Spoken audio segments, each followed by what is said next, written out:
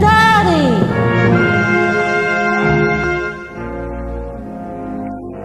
I consider myself a reasonable merman. I set certain rules, and I expect those rules to be obeyed.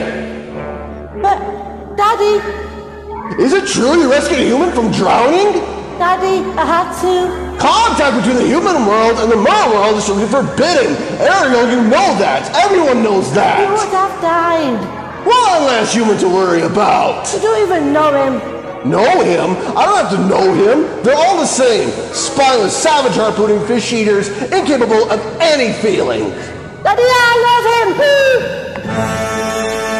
No.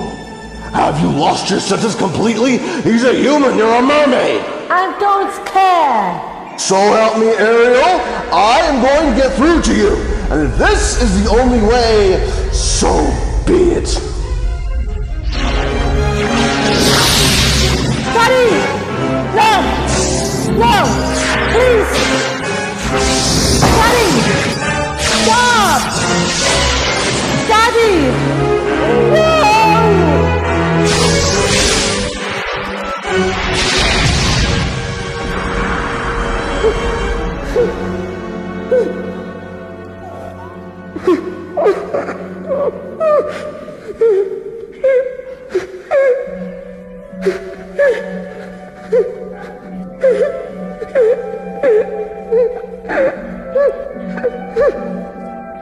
Ariel, I. Just go away.